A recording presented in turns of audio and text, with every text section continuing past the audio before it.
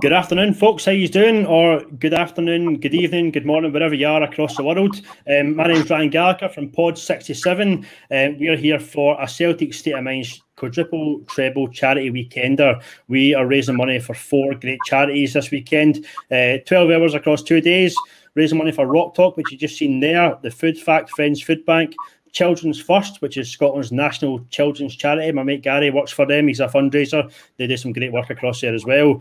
And help for the homeless as well. So the full details are on the a Celtic State of Mind Twitter account, including the GoFundMe pages. Links will be below here somewhere as well. Um, if you can give a little, I know times are tough for everybody. A little goes a long way these days. Um, so I'll get into to our show. Thank you very much to the guys from the Huddle Breakdown beforehand. Um, like I said, we are Pod 67. We do a weekly show just basically talking rubbish about Celtic, reviewing games, talking everything that's happening, the big talking points. Um, and I'm joined by my two trusty colleagues here. So we'll go round the table first. Scott Sutherland, how you doing, Scott? Hi, I'm good, mate. I quite nervous for this actually. I can teach in front of a classroom in front of 30 kids uh, every single day, but I put me in a podcast live with without editing. It's uh, quite nerve wracking, but I good. Got the haircut for the day. Uh, usually we'd have a night out, obviously the boys, but we're on for a podcast, so obviously raising a lot of good money, and who knows after it we might double our listeners from two to four.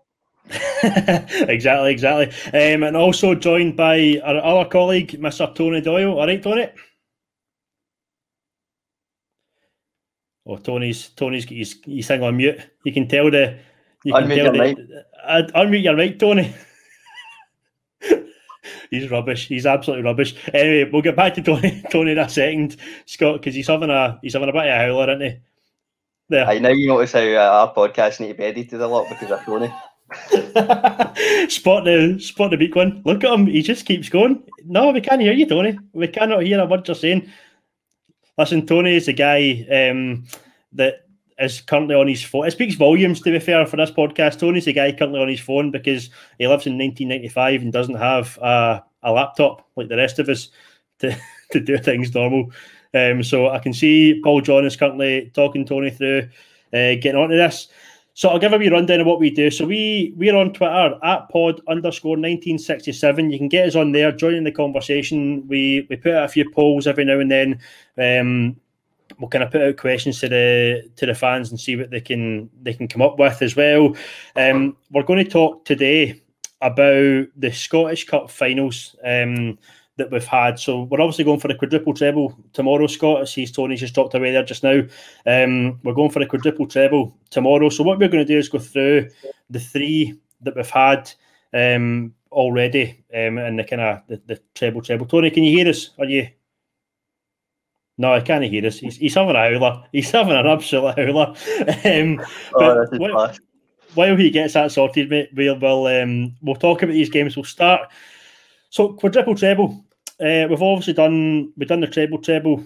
This is I keep going to say last year. It's not last year, is it? It's, it's two seasons ago. That was this this quadruple treble would have been would have been in May this year, which would have been last season.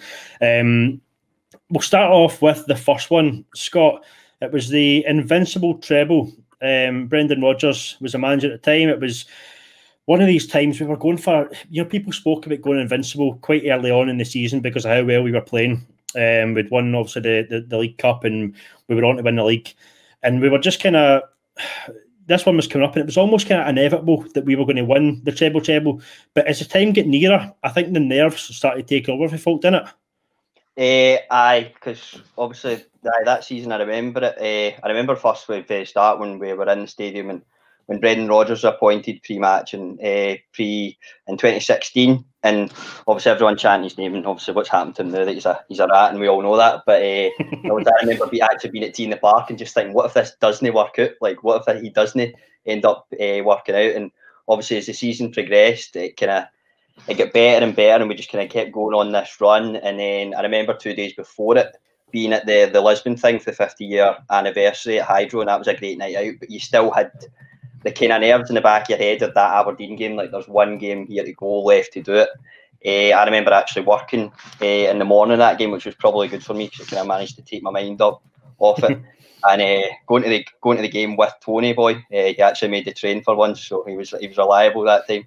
and Uh, we went there and I remember it just teeming down with rain, like absolutely pelting, and I didn't even have a jacket on. We been soaked through getting into the ground, and uh, it was some sight just to see obviously twenty five thousand Celtic fans there, and but uh, yeah, there was that wasn't an enjoyable game actually. Really, uh, we'll come on to probably talk about the double trip. That was a bit more enjoyable to actually enjoy as a game, but that game was just uh, obviously fraught with nerves. What about yourself?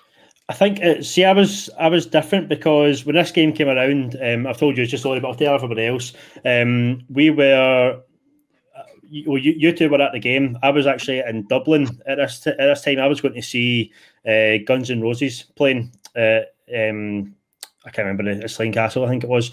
Um, so I was across on in Dublin for this day, and I was gutted. You know, I was gutted I wasn't going to make the game. So I was with my mate, who by chance is a Rangers fan.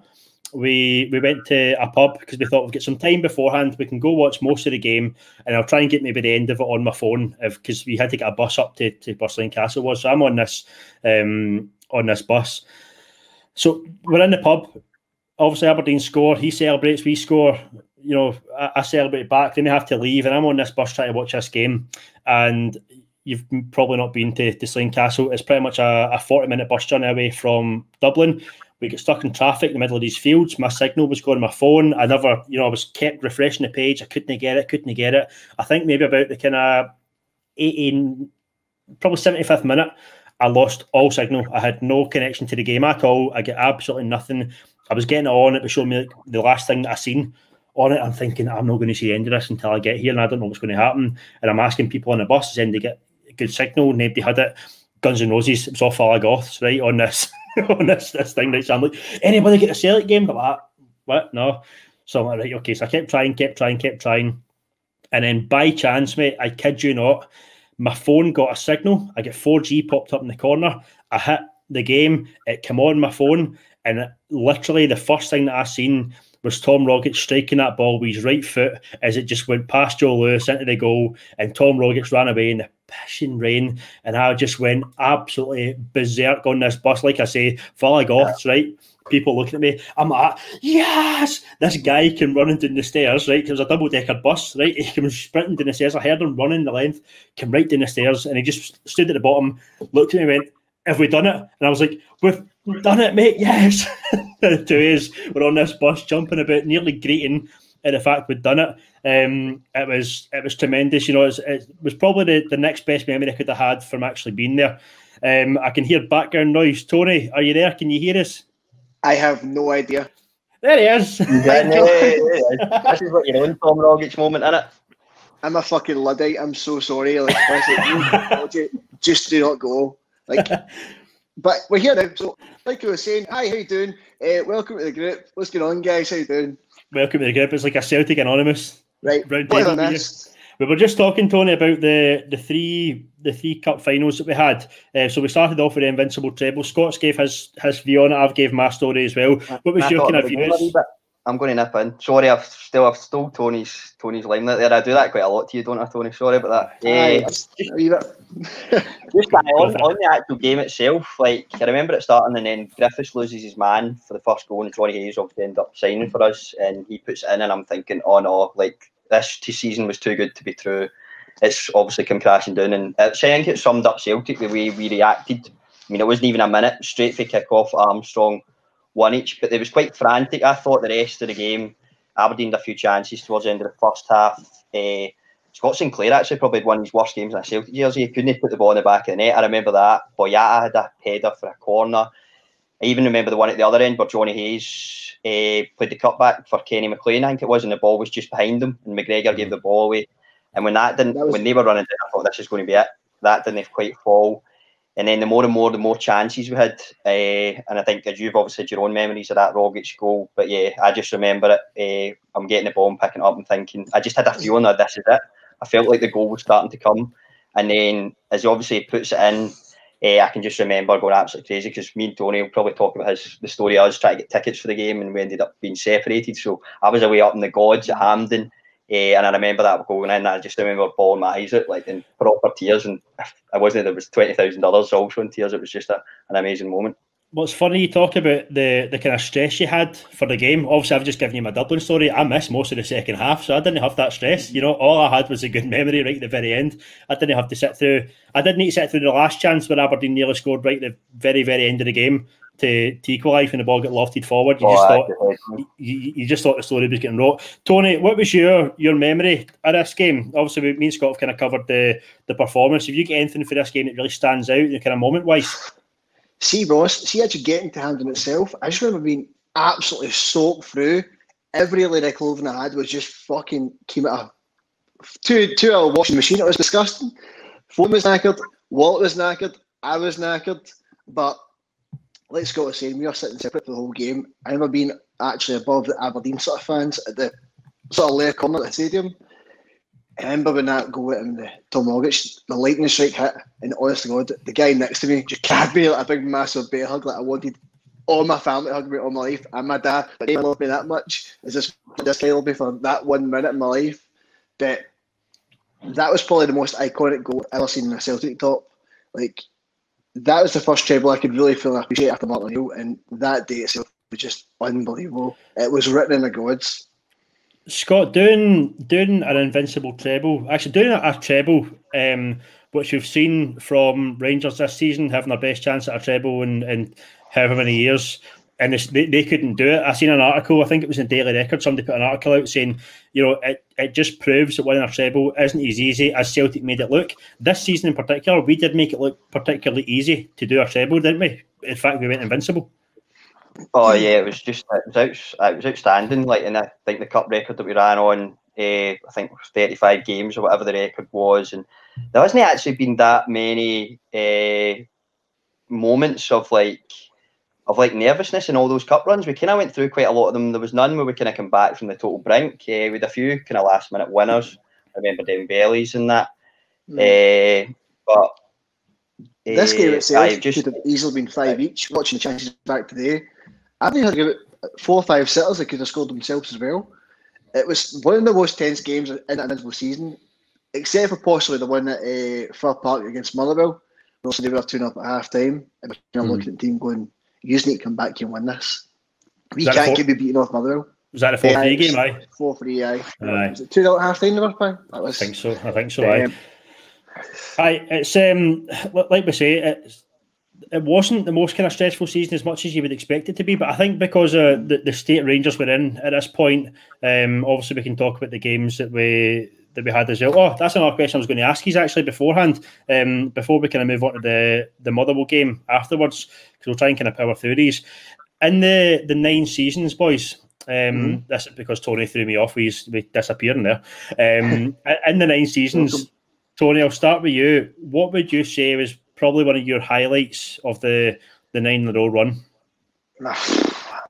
There's, honestly, there's absolute thousands. And if you had to, if I had to pin you down and get one off you, what would you pick? Um, it'd need to be top of my head. Five one day Ibrox, Lustig's last minute goal. Well, not last minute, but the fifth goal. Mm. Um, even before that, the Kenny Miller goal the fact that Celtic fans themselves cheered louder than the Rangers fans and the music came across the timeline like this is the best day ever. They're not celebrating, we're gonna have or not, ironically cheering. But, um, still, still cannot believe they played goal music for that. That's embarrassing, isn't it? It's hilarious, and the fact that me and Scott ourselves got on telly for uh, the second goal, I think it was, we got on telly for, so it was brilliant. But um, no, Lucy's goal for me, that run when he gets the ball, it just slots the ball calmly past uh, McGregor into it. Probably. And then just lifts his top up, runs in the crowd and stuff. Same donkey, whatever. Doesn't matter. same one. Scott, I'll ask the same question to you. If you had to pick a, a memory from the nine seasons, what would you go with? Uh, what, I, what I would say first of all is obviously we're talking about memories, and this maybe feels like a bit of an end of the era, but with the breaking out of um, Ismaila Soro, I mean, the biggest memory is going to be that guy coming into the team for the 10 0 season. So I'll add that in. But, but for 9 0, uh, I would be similar similar to Tony, but I would say the following season, uh, with the Odsonne Edouard in the 3 2 game, we were also at that game again. Probably pretty much exact same seats, weirdly, that we're in again, like right down in the first row, uh, row A at Ibrox, we were. I mean, great memories for being there. Obviously, they threw their, uh, their toys at the pram. Uh, and Dave King stopped us kind of going back to the games, and obviously nobody can get to games right now. Hopefully that will come back at one stage. But being in that game at Ibrox, you never kind of know what it's like. See the feeling when, when Rangers score it's absolutely horrible that you see the these three stands of them bouncing up and down, and you could tell that they thought this was it. This was their moment. This was their chance to finally come back. It is. It was when, especially when two each and Jozo got sent off, and uh, obviously we've had a drop off this season. But I think, and with the way Rodgers just changed his team around and Jozo sent off, brought that extra striker on, uh, put two up, and then.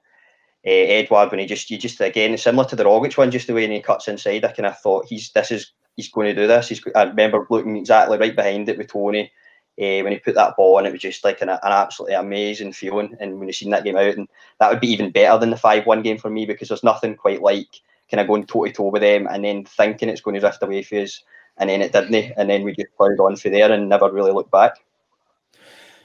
I think my best memory of that game, I was sitting in a pub full of old guys watching that game who didn't understand um, modern day betting. So I was waiting for one Celtic corner to win seventy five pound. It was just a wee request I bet I done, and I was waiting for one Celtic corner, and it was maybe the seventy fifth minute. I said to somebody like, "What do you mean you're just waiting on one corner?" So I'm explaining to them. Do you know when the corner came? Ninety second minute.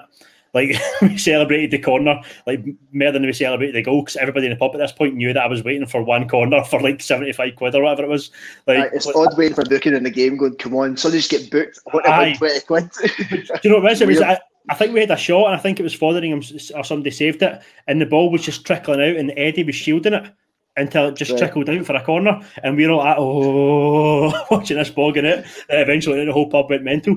Big um, man's one quid, yes. I know. Shots, oh, shots. Brilliant, mate. I was like, ah, three pints for me and nobody else. Um, so, right, we, talk, we spoke about that then. I'd probably say my one of my highlights would have been the 5 0 game to win the league at, at Parkhead against Rangers. That would have been a, a particular highlight for me just because of because it got to 60 yeah. minutes and you thought this is going to be an absolute blowout. This could be easily 10 in this game. Like, and it could have been, see if you go back and look at the chances that we had in the mist, you know, it could have easily been 10 11 in this game. Um, but we'll come back to the, the Scottish Cups, boys. So we spoke about the Invincible treble and the feeling that was of, of securing the Invincible treble. We get into the next season. Um, well, the talk of you know we are the best team in the country. Nobody's going to even lay a glove on us this season. Um, and fast forward to end of the season, we're playing Motherwell, Scottish Cup final again, going for the double treble. Um, Tony, I'll start with you on this one. What was yep. your actually no, I'll not because you kind of fought your story a little bit. I'll start yeah. with I'll start I with Scott. I don't really want to talk about my story too much. Is, uh, we'll, we'll get on to your story. Aye, as yeah, people have probably guessed, we, we are sharing we are sharing stories. If you're just tuning in now, we are sharing our stories from these games because we can talk about the games in detail if we can, but everybody know, kind of knows how they went. We're kind of giving a wee bit of a, our day on this. So Scott, I'll, I'll start with you. We were we were together quite early for this one. Went for a wee bite to eat, and then we went to a, a popular Irish bar in Glasgow for the the build up to this one. What do you remember for for the build up? I remember I we went to Malone's before it, and then it was St Vincent's after it, showing us really off to be the Celtic Spice Boys here, aren't we? Really going to the going to the pubs. But, uh, I remember it before it, getting a breakfast, and then being in there for eleven o'clock queuing outside. I remember it. Sharp contrast. The year before, it was a roasting hot day, man. Uh, 20, 25 degrees or whatever outside. Uh, Celtic talks on. It was kind of more of a upbeat mood, or I mean, last I think there was less nerves, especially on my part. I think going into this game, obviously there's cup games, anything can happen. There's a wee doubt in the back of your mind, but kind of felt confident pre-match, and then I drank the Malones. I'll let Tony explain his story of the day, but I'll go for for my story where we ended up just going to the game and. Uh, I've been actual memories of the game are a bit hazy just because of the amount of, of bevy that was drank, but uh, this was really a good one to enjoy because McGregor. Scott, Scott, it wasn't the bevy, mate. It was the sun that done it to you. It was it was the uh, sunstroke that you had that, that makes your memory hazy. It wasn't the wasn't the bevy. I've used that just as well. translate and stuff. But uh, aye, the McGregor's first goal, I mean, that's a really, really un- underrated goal. Uh, that first one, the way he takes that.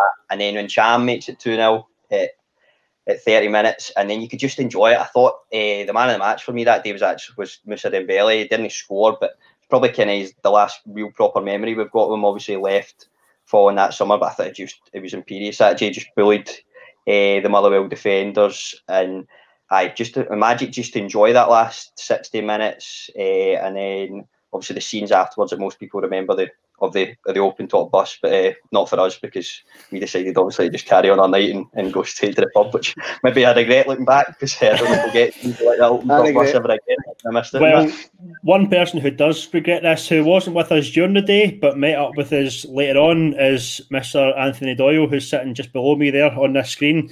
Um, Tony, we met you in St Vincent's after this game. Um, right. and, then, and, then, you went you went missing, well, you, mate. You met you met a version of me in that pub. It definitely was me. I was absolutely man possessed in the all day. Um, the only memory I have of that game is is literally being St Vincent's. I don't remember a thing from the moment I woke up had a fry up. It was two bottles of tonic in the way to town, both finished before I got to Brigton. I get into town, straight to St Vincent's as you do. My shoes were just stuck to the floor in the one spot, so I didn't get to move much on it, which was quite good because the carpet there's notoriously sticky. But I digress. But the PTSD flashback for me that night was getting kicked out of St Vincent's after dropping a whole tray of Venoms on the floor. And for all the listeners, a Venom in town's about £10 a go for a drink. There's about five in this tray. and then also get kicked out of St Vincent's claiming Irish bigotry. yeah, an Irish, Irish pub. From a Scottish guy, by the way, from a Scottish guy.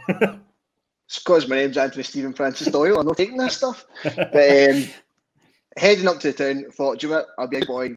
I'll get a wee lift up the road with my mum. She'll take me home, drop me off. Perfect. I got to the Mitchell Library. Next thing I know, I've woke up in the bottom of the steps at the library. I've got back up to my knees at the scene in Shawshank Redemption where he's looking up at the building, eating the rain. my nose is gushing of blood. I've still got the scar to this knee actually. You can't even see it in the camera. But that was my memory that day. Double treble and a double concussion. so great day, great day. But Scott, this uh, we, we mentioned that a minute ago. This game um, obviously kind of following what happens next year as well. Um, Cal McGregor, I think, said after the, the, the treble treble game that this one kind of goes a wee bit unnoticed because it's probably not as glamorous as the the two that we've done. Um, and that treble run, obviously, first one being invincible, last one being a treble treble. It sounds better, you know, kind of aesthetically. But the the game itself, for being you of relatively underrated, I think you mentioned it yourself. It was it was a good performance phase in it. It's, it's one of these games that could have easily been a been a slip up.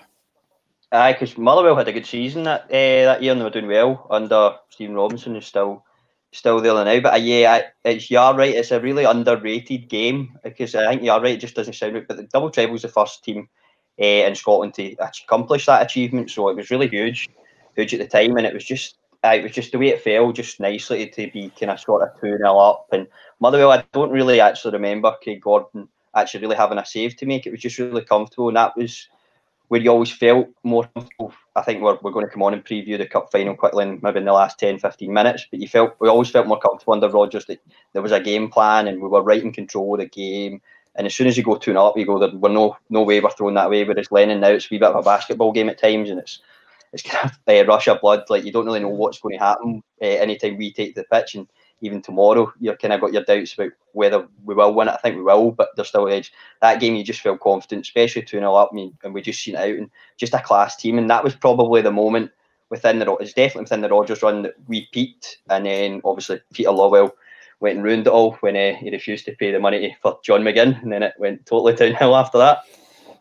I'm not even letting you get away with that one because you didn't want John McGinn. Apparently, I'm going out. You see, probably go. I don't want John McGinn. We should be going by somebody better. Look at him now. Like absolutely. To flying. be fair, I didn't want John McGinn because he went to my school and it was just sheer jealousy that I was Aye, myself. That's what it was. It was total jealousy for you. It was like if I can do it, they can do it. uh, so, boys, that's us. We've done the done the double treble. Then we move on to the, the, the next season, and you're thinking at the start of the season, can we do a treble treble? I'm thinking out of them all, a treble treble is the one that I want because it sounds the best. You know, just sounds I, I, hate people that were calling it triple trebles. It just didn't sound right. A treble treble is what we were going for. Um, we go through this season, got a bit of turmoil halfway through. Brendan Rodgers decides to up sticks and leave. He's away to away to Leicester, and we bring in uh, Neil Lennon, whose first game back in charge of Celtic is away um, at Tannadice against Hearts. Uh, Scott, we watched this game this game together.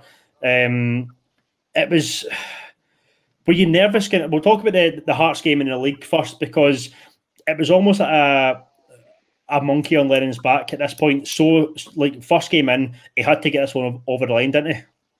Aye, to go, I, I would more give John Kennedy. Uh, probably not a popular thing to say. Uh, the way you look at uh, Twitter and look at John Kennedy, people freezing their tellies to, to show him uh, well, that's, angry. But that's I give, cancelled. uh, I would give a lot of credit to John Kennedy actually, more so than Lennon for those two games because Lennon just kind of came in last minute, and there's obviously this talk of Lennon coming in and steadying ship, and he probably was. He was definitely was the right man at that time because there was nobody really else, but he did come kind of come from an unemployed position. We went wrong at Hibs, but uh, that game, first game at, at Tynecastle, I kind of always had a feeling. I've always get feelings before games. I know I keep saying that, but I had a feeling in this one that we were going to win. It was a sort of siege mentality. You seen the fans were didn't actually get a ticket for that game, but it was at Easter Road three days later when we won in the cup, and it was sort of that siege mentality. Of like, right, okay, he's left us, stuff him. We're going to do this, and mm-hmm. yeah, just the way it fell last minute was was sensational through Edouard, but kind of summed up the turgidness of the, the towards the end of that season with with Lennon, where there was a lot of there was three 0 nil draws. It was really really scrappy. But basically, we kind of stumbled over the line, and that was kind of leading up to the cup final. Where you're like, we aren't really playing well enough here uh, going into that. Tony, we stumble we stumble across the line in the league. We get the league done, which was which was great, and it was it was a bit a massive relief for us, especially yeah. in this this pursuit of the ten at that point. And you thought, are, are we going to kind of make an ass of this really? But we get over the line. But the the results leading up to this cup final against Hearts. Um, what was your thoughts going up to this? Because we, we look at the game when Lennon first came in against Hearts, and some would say it was a bit of a struggle. You know, one last minute goal away for a draw. Like it wasn't the Celtic that had been playing under yeah. Brendan Rodgers for a few years. Going into this cup final, though, what was your thoughts? Were you a bit nervous going into this cup final? Just at what was at stake at this point? I think just uh, when Lennon came in, you were seeing sort of games where it was getting to the dying minutes, and it was a case of just get the win somehow, just pull this out of the bag somehow. The performance didn't really matter at that point. It was just about steadying the ship, what Scott was saying, and getting the three points even the game against Kilmarnock, we've seen where Scott Brown won the league at Kelly Park. It was the last minute again that won the game. And that's kind of what I've seen this season as well, where we're getting to this point in games, we're starting killing teams off. But on that cut frame itself, I think also the bigger park at Hampden himself, Celtic notoriously under Rodgers was just rampant at Hampden. They were just flying everyone by the side. So I kind of feel we had a lot more going through as a hand going to like the likes of Tynecastle, Kilmarnock for, but I thought they were comfortable, and in the end, it did prove to be sort of quite convincing in the two win. Scott, talk about the talk about the game because, like Tony was saying, it was a wee bit nerve wracking. Granted, you're, you're not really sure what to expect for Celtic at this point. Um, you've got the the interim manager, you know, pre kick off interim manager. Um, you're kind of thinking, are we going to slip up here and, and not get this? Um, we go, um, we go a goal down uh, in this game. At that point, what were you? What was your overriding feeling towards this Celtic team and Lennon and this potential treble treble? Oh, when we went 1 0 down, you, you were obviously fearing the worst. I mean, it was kind of symptomatic of a lot of performances that we're getting under Lennon, where first half nothing really happens. You, you go in at half time and you're not raging because you're not getting dominated, but you're not doing much either. And I felt that at half time, and then start the second half, Hearts get the goal, and you are thinking, right, is is our luck finally about to run out? Is this run going to come at the end? And it's just one more game that we needed for this for this treble treble. And yeah, that time you were you were you're obviously you are fearing the worst, but obviously then we get the penalty. Uh, personally, I thought it was a wee bit soft actually the penalty, but it, it was Still given. Red card. Red card. it was given, and uh, there's no no cooler man in the stadium than than Odsonne Edouard, and especially I loved his interview afterwards because it's the first time we'd ever really actually heard Edouard kind of speak. And obviously, he's trying to get to grips with the language and just the way he's like, I had no doubts, and I was taking the penalty. I knew I was going to score, and Zlamal actually nearly gets it, but uh, yeah, the way he slots it away. And then at that point, you're just thinking, right, come on, just somehow get this done. And it was kind of similar wasn't a similar feeling to the first treble because I don't think we played as well in this game. In fact, it was a really, really turgid performance if we're, if we're being honest. But uh, getting over, obviously, then the second goal, uh, which Edouard gets as well, was a great memory for Lustig. Uh, he puts the header through, and it was obviously his last game, and there's no man you wanted to fall to than Edouard, and he puts that in the in the net, and then the last ten minutes are just just amazing, and it's probably one of the one of the best feelings I've had in a stadium for about half an hour until the Peter Lawwell ruined it. the train station. the announcement he made later. So we also we won the game. We we do the this historic treble treble. You know that has been it was spoken about all season. You know we had a, an up and down season, like I say. Um, it could have easily went wrong, but we finally get it over the line. Tony uh, Lustig's ball through to Edouard. After that, it's quite it's quite calm.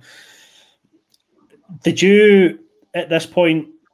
I, I know Scott was saying that they basically ruined it half an hour later by announcing announcing Lennon. Um, did that take the shine off of it for you at that point? Because we know that Lennon wasn't everybody's number one choice, but were you able to kind of see past that for, for even 24 hours, or did it kind of sour the sour the day for you a little bit?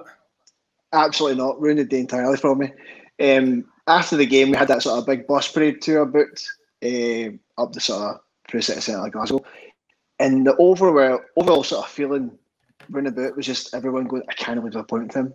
They've actually ruined us. They couldn't give us one day of happiness. Because we, knew Lennon was still happy at that point. And the next season itself was successful. Yeah, definitely. A great European run. But that year, we just thought, just get us to the end of the season. Do us a favour and we can recruit somebody else in the summer. They give him a fresh idea. Because after Brendan Rodgers, the stock is just up there. Now we go, well, we don't want to go back down here. We, we're we, we, we want top caliber manager. But for me, it was definitely ruined. Um, Peter Lawwell himself changed the whole idea of the recruitment policy that day, and on his head be it. Because right now we're seeing it this season, it's not good, not doing well enough. But for me, it definitely did ruin it, hundred percent. We'll go on to talking about about this current season uh, as well when we kind of lead up to this six game. But after that, Lennon gets his kind of first full full season. Um, since being back. I say full season, it got curtailed obviously to, towards the end, but it's his, the first one that he started um, since coming back. We we don't have the best season. Uh, we're not playing the best football. You know, we had the game at Ibrox that we that we won, um, which was great. That was kind of out of the ordinary for the games we've been playing that season. You know, nothing had been very convincing, but we were grinding out results, and it was the whole um, performance of champions. You know, that's what champions do. They grind out results, even if it's not going very well. Um, we get the Betfred Cup final game against Rangers. I think we'll all admit that game we got absolutely battered for for the entire game. Uh, we, we snuck the we snuck the win. Probably should have snuck a 2 0. I don't know how you can sneak a 2 0, but Mikey Johnston's one would have made us sneak a 2 0 victory um, yeah. in this game. But I'll come to you, Scott, with, with this season because obviously we've got that one. We, we have the Scottish Cup final coming up as well at the end of the season, and then it gets curtailed. Um, Rangers had their, their second downfall after coming back from Dubai in January as well. Um, it was very tight at New Year. Um, they have another downfall when they come back. We kind of push on from there. I think we all kind of knew that the season was probably going to go our favour it had been um, if it hadn't been curtailed and it went to the very end. But was there any kind of fear for you that season, kind of towards the end, that you know we might be a bit sticky here? You know, we might get we might get stuck coming up for this this cup final? Uh, I think actually looking back on on the season as a whole, I think the football was actually quite good and quite exciting, uh, especially against the sort of middle road SPFL clubs. And the form actually that we showed for January to March was some of the best football that I've seen Celtic play in my time watching us. And that is where Lennon, I know he's, he's the constant guy that always makes excuses and never actually takes responsibility, but that's where I have got some sort of sympathy with him with the season being curtailed, then coming back, it kind of halted our momentum at that point. And I do think when we went to that game at Ibrox, we, we were going to win it just with the form that we were in. But yeah, there was signs in that season, bigger games. I mean, Europe, uh, Europe, there was positives in the group stage as a whole, the Lazio games, but there's games like Cluj, Copenhagen, where Neil Lennon's in-game management and just some of the decision he makes, like McGregor at left back, and even seen it this season, Ferencváros, Christie up front and just day games, as I've said before, turning into basketball games and just no sort of control of it. So that was always the worrying sign, and that was why me and Tony were so disappointed that day, the cup final, when they appointed him, because yeah, just games, just the big games where you need we, we need a coach. We know we've got we think we've got the best players in Scotland. Uh, and what we need as a manager in these big games to get us over the line, and that is where we've been lacking. Anytime a team is sort of close to us or just a wee bit below us, we always seem to come up short. And for me, that kind of falls onto the manager. But obviously, the positives of the season that we've done the nine in a row, we got it through, we got the League Cup somehow, and now hopefully tomorrow we'll get through and we'll get this get this quadruple treble. Tony, obviously the Scottish Cup then from from last season has to be moved um, into this season to, to get it finished. You know, we've got the game against Aberdeen to, to get to the final. Um, yeah. Looking looking at form this season, everybody knows we've been mince this season, right? We've been terrible to watch. I mean, we've been terrible. Um, we've been terrible to watch. The performances haven't been haven't been very good. We're obviously sitting. Uh, don't know how many points is we're behind Rangers. It's seven best case scenario if we win the games in hand. Um, we're not playing very well. Would you have rather this game came at the end of last season, or do you think it doesn't really matter when we played this game? We're always going to be up for a cup final. It's frustrating, and also this game's getting played from last season to now. Um, it's a tough one because you really want to see Celtic win this, but it doesn't really affect the season at all because this season's not been good enough. But to get a Scottish Cup win, people going, I've got a first trophy, but it's last year's trophy getting played now, so it doesn't really make up for the sins of this year. I think if we win on Sunday, all it does is kick all down the road a bit further in Neil Lennon. It will give them to Ibrox, give them that sort of leeway, and get the fans off his back. But for me, it is a must win. After Rangers dropping uh, drop points, getting kicked out of the cup by seven, it's a good confidence boost, and hopefully it gives us the the drive we need to actually kick on in the season and give Rangers a bit looking over the shoulder, giving them two to think about. Scott, can I just interject with some news right now because I'm just looking at my phone. Don't want to we have some breaking news. It's only forty minutes, but it's uh, one 0 to Motherwell, Ibrox. So this could be the starter. This could, I always I get a wee feeling that things are starting to change. Just noticed it for actually being in a school that I work well, in, and uh, some of the people are getting really and the change of us bringing Turnbull and Soro in, and we've had a good couple of weeks, and hopefully tomorrow it's going to be a massive confidence booster for us if we can win that cup. What happened to them on Wednesday night? Well, obviously a long way to go in this game, but they're they're currently one 0 down. Well, Ryan, this is what you said in the podcast during the week that you can see the performance starting to return, and they will tire themselves out. Well, I, that's what I said on. So I said it on our podcast, which we put out this week. Um, in the kind of lead up to, to obviously this coming up, um, where Ibrox, I, I, thought, you know, Celtic winning two games in a row um, for the first time since the start of October. Um, Rangers game against Dundee United, you know, that, this was kind of in between.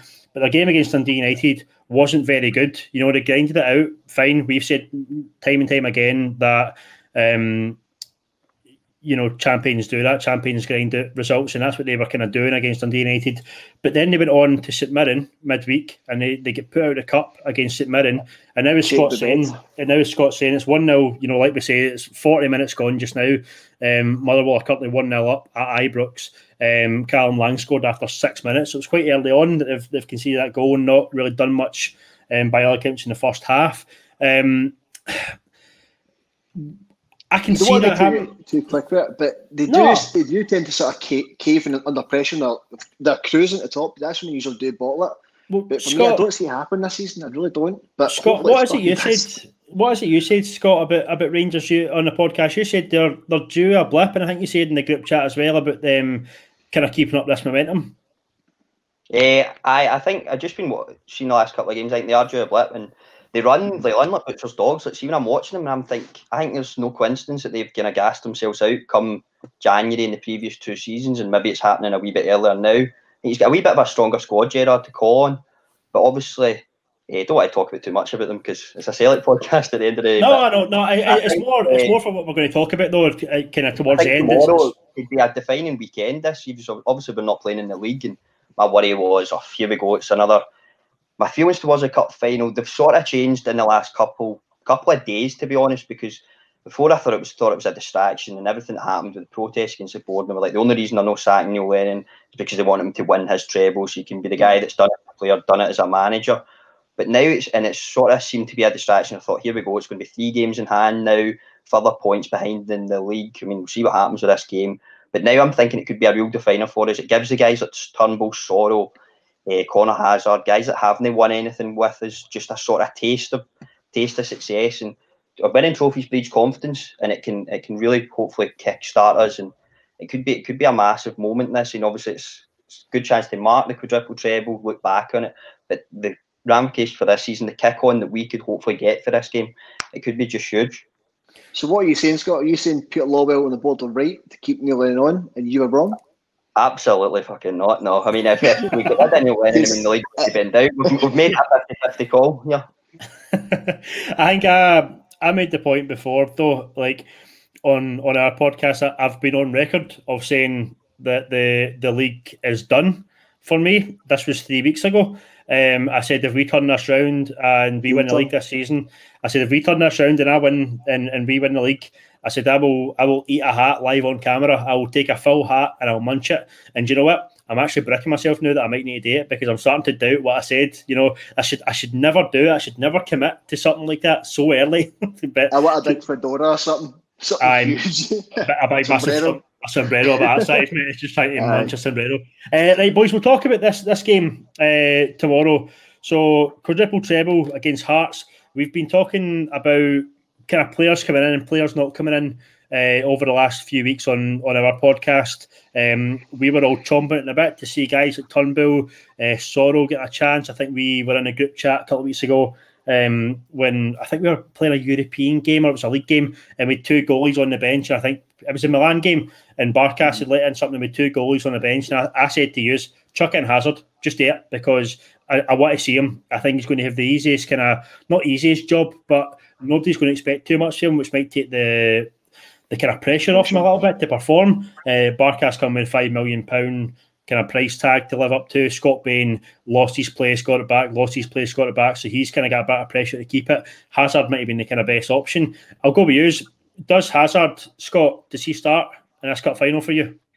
Yeah, absolutely for me. Uh, I think if I mean the other two goals. I mean, when Barkas was originally dropped, I felt I felt it was kind of good for him because we weren't performing and he was getting no real protection for back four and middle to front. I thought it was good that he sort of been out of the team and, and Bain sort of been the fall guy. And Bain he's hopeless as well.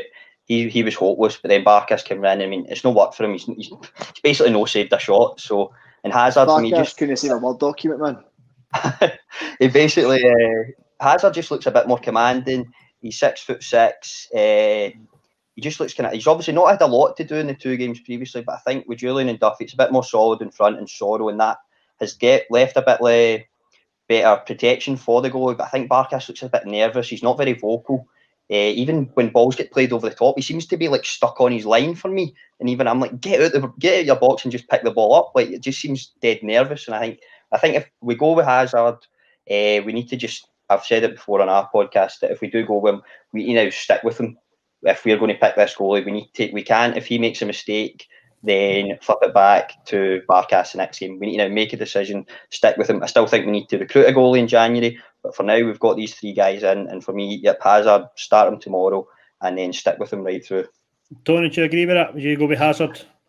Yeah, I think he's both hit nail on the head, definitely. I think the young boy, he's not really had much to do, but what he's had to do, he's been called upon, he's, and he's been reliable enough. Um, the goal against the team, the team away goal Leo scored you couldn't actually ask him to do much more than that. It was a great, great finish from the boy. So, aye, for me, you go Hazard and you see what happens to him. Like, he's a big lumpy boy. He seems to be quite commanding in the box. He's marshalling the defence a little bit as well. So, I have no qualms about it. Put Hazard in and see what he's got. And Tony, I'll stick with you then for this one. Uh, after the game at the weekend, um, when Turnbull and, and Soro both played quite well, played quite well in two games in a row now. Um, Neil Lennon was asked about whether they've kind of put themselves in contention for this game, uh, and he came out with the, the classic line, you know, I'll I'll get people in who got us there, you know, reward people who the got hardcore. us there. It was a bit of a, a kind of sentimentality type thing from him. However, that being said, he was asked about it again this week and did come out and say there's no room for sentimentality. So he's kind of went back on what he said. Do you think that he's going to go with the old guard of Scott Brown for this one. Like we've, uh, for people who don't listen to our podcast, we've made it very clear that we don't think Scott Brown should be playing every single game. We've been on record by saying that he has a place in the squad as this this kind of leading figure. He's got a place to come on to games, I think, just now. But the guy's 35 and he's keeping some David Turnbull out of the team. I don't know what his Turnbull is off the top of my head, um, but young guy out of the team. Turnbull and Soro get their chance. Tony, do they stick in this team for you? For me, they definitely stick in that team. I think Saul and Turnbull have been a breath, breath of fresh air in, the team. Turnbull's deliveries into the box from corners and set pieces. It's been remarkable difference from Ryan Christie's. Uh, I think Ryan Christie is a great player on the day, but he just looks to just hit the ball and see where it lands. But with Turnbull, it's placed on a plate. Even Duffy's goal, the second goal, it was a complete bullet header, and it was just on a plate from him. It's like get it up, get net muscles on that Duffy, and it'll be in the back of the net. But I can honestly see Neil Lennon playing Scott Brown tomorrow. I have no doubt in my mind that that's what he's going to do because, well, it's his boy, isn't it? What about you, Scott? Do you do you agree? Is he going to go back to Scott Brown, or do you think he's, do you think he's listened? Because obviously he said he's going to go with the players who got him there, um, and then he somehow has kind of changed his mind through press conferences through the week. Um, do you think he's going to kind of change his mind with this one and go with the the young guys? Uh, I maybe being quite naive to say this, but I do think that he's going to pick. He's going to go with Soro uh, and Turnbull. I just think Neil Lennon he's under huge pressure in this match. He's still on, even though we've won the last couple of games, still under massive pressure to win this this game tomorrow. Uh, and if it doesn't go his right way, he'll be under even more pressure. I just think if he picks Scott Brown, he's giving fans a sort of an excuse in a way in terms of we're now calling for Soro and Turnbull. You've got to go with these guys. Why why the hell would you change a sort of winning team in the last two games? What Neil Lennon says in his press rooms. I try and take with a pinch of salt because he's kind of making it up as he goes along. I think half the time he says one thing, next week contradicts himself. I mean, yeah. says players want to be here, and then two days later he's saying, "Oh, these guys are brilliant." And he's always, I do view his press conferences, which isn't good for my mental health because it just gets me riled. But uh, try and actually take these things he says with a pinch of salt. I think tomorrow, I've, maybe as I say, naive to say it, but I think he is going to go. Uh, with Soro and Turnbull, and I'm hope I'm right. And I think whatever team he picks, it at quarter past one when the teams will come out an hour before kick-off is going to tell us exactly how this game goes. But on on the just the kind of debate about it, I think I feel sorry for Scott Brown. Don't feel like this is an, an attack on Scott Brown. People have got Scott Brown's 35 and he's been absolutely amazing for us. But a 35 year old, same way like Man United with Paul Scholes, like, he didn't play him week in, week out that Lennon seems to do. So I think the fans are kind of on Scott Brown's side in that regard, that it's not fair on him, that's what's been happening. And I say, no. but on this game, like with Hearts, I think whether we play Scott Brown or not, we should be beating Hearts, and it shouldn't really flip on this decision. But I think the way the game might go will will flip on this decision. If we play Sean Turnbull, I expect us to win quite handsomely, two or three now. Play Scott Brown, it could end up being a total slog, like games have been all season. We spoke about the the strike force as well on our podcast this this week um, when we kind of had our predictions for this game. Um, naturally, Scott, me and you went for Odsonne Edouard up front. Tony, you went with a bit of a curveball this week, didn't you? To be honest, you, I want Klimala up top. What do you think Klimala's going to? I'm not going to say what he's going to bring because we know what Klimala can do. But why? Let's get rocking. Why? why in a game like this would you throw somebody like Klimala in over somebody like Edouard, who's performed? You know, he, he's performed so much over the years, especially at Hampden. Um, yeah. What is it about this game you're thinking? Do you know what? No, I'm going to go with Klimala. Well, to be honest, Edouard this season really hasn't kicked his ass for me at all. Um, the games he's been a part of, he's walking about the park, he's jogging, he's not tracking down his runners, he's not putting pressure on defence. The Klimala, you seen it against, uh, was it Leo? He came on? Was he starting mm. against Leo? Aye. Anyway, the, it was pressing defence, it was making the unselfish run, it was allowing players to get in and around the Fox by just doing that unselfish run, taking him out, dragging the defender with him. For me, Klimala is a no-brainer start. He's the only player that seems to be putting effort in in training. He's shaved his head, which I'm all for. Yep, exactly right. um, but for me, Klimala is definitely the starter. Edouard himself doesn't look really that bothered. I know we have Charlie Nicholas a hard time saying that oh, Edouard doesn't look arse, but this season it just looks like Edouard is just playing just for a move. He doesn't want. He's chucked the toys at the pram. He doesn't want to be here. It looks, but if he looks like Klimala, I want Griffiths in. Simple as that. Scott, it's a bold, it's a bold call in it for, for Tony there to, to ditch a guy like Odsonne Edouard. I can kind of see where he's coming from, um, in the sense that Edouard hasn't kicked his ass this season. You know, he's he's not been on form. Um, other guys might give us a bit more. For me, and I think you'll probably agree with me when I say this, you don't leave somebody like Edouard out a big cup final. So, oh no, absolutely not. I would I would definitely still go go with Odsonne Edouard tomorrow. I think the COVID thing's probably impacted Edouard as well, which needs to be taken into. I think uh, he was out for a couple of weeks, and then obviously the follow up for that in terms of maybe it takes him a wee bit while to get up to speed. But I think he's played in flashes this season. I do get what Tony's saying. I think at times he is sort of playing for himself, uh, even in terms of the the AC Milan game. Like when Edouard gets his wee dink over the goal, he gets his goal. That's his headline. He can then sell that and try and get his move from then. And it is going to come to a point where we are going to sell him, whether it's January whether it's at the end of the season. But I think these are the headline games, and that Edouard he, had, he was a hero for his last time, and, and I think you've just you've just got to go to him. I think I would try and imagine it from the position of they've got Christophe Berra and is it the guy Halkett at the back, and I'm thinking right, I'm day two. Who do I want to go up against here? Patryk Klimala. I think Klimala's been good for us. He's Tony says he's putting a lot of effort, and I think Klimala's still lacking a wee bit of confidence in that final third. Uh, he's not scored as many goals as maybe had hoped that he would get. And I think he's a player that could come on in this game. He's kind of gives us options in terms of running in behind. But I'm thinking who Berra and Halkett want to play. If they see Klimala coming out, they'll be thinking, yes, we're in for a wee bit of an easier ride today. They see Edouard, they're going to have the fear for him because what he's done to him last year. Well, I think in the recent weeks, though, has proven that he's a second choice striker by getting the sub appearances over Ajeti and Griffiths. Uh, but you see with Klimala, he gets the run in behind the defenders against St Johnstone. It was a great strike he took. Um, and I think that'd be absolutely deadly in the cup final. I think the bigger part would suit us getting in behind them a lot easier. I, agree with that, Tony. I agree this game probably has got a, a place for somebody like Klimala. I reckon, like Scott says, he's uh, kind of lacking confidence in that final third of scoring goals. But taking your point as well about him, he's kind of his pace, getting in behind people and stuff. I reckon he could probably, you know, give guys like Berra the shitters, to be honest with you, you know, running in behind him and, and making him backtracking, etc. Um, so no, I, I, would go with I would go with Edouard personally. Um, but I do I do agree with you that Klimala has got a point to a part to play in this. I would like to see Griffiths as well, just for the Hearts thing, but that's purely that's purely just because it's Griffiths against Hearts in it. That's the only reason. Um, right, I'll get we've got five minutes left in, boys, or four minutes left now. I'll get predictions from you. So Scott, I'll start with you just now. What's your prediction for this game? How do you see it going?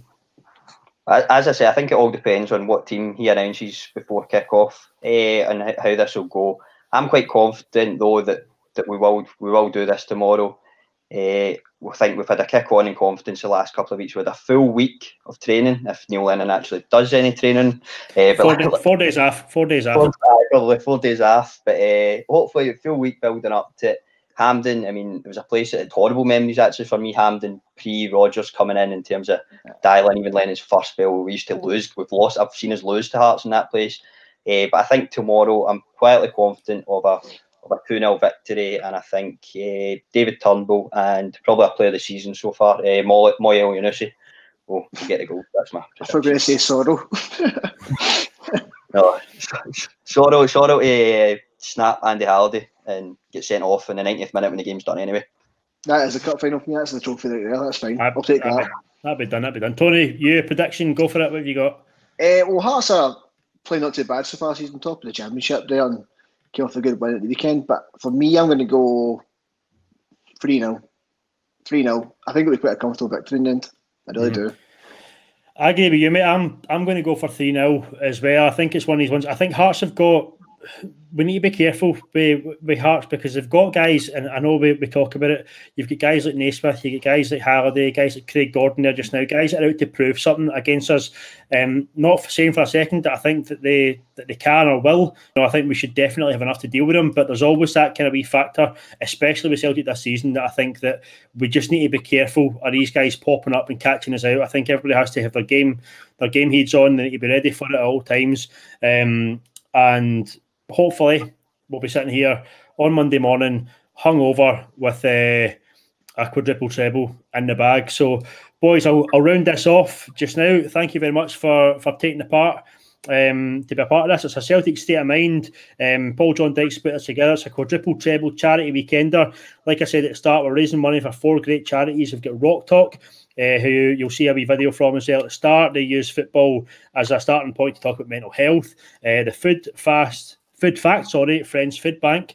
Uh, we've got Children's First, which is Scotland's national children's charity, and Help for the Homeless as well. So the full details they'll be below us on this. If you want to go onto Twitter, our Celtic State of Mind's Twitter account, they've got the links to the GoFundMe page, etc., across there as well. Like I said at the start, give a little, go a long way just now, especially for people that are a bit less fortunate than than us. We've been Pod67. Get us on Twitter at pod underscore 1967. We do this every single week. We talk about the games every Sunday, put a podcast out on the Monday, um, just giving our thoughts on on the week uh, for Celtic as well. So, Tony, mate, thank you very much for taking part.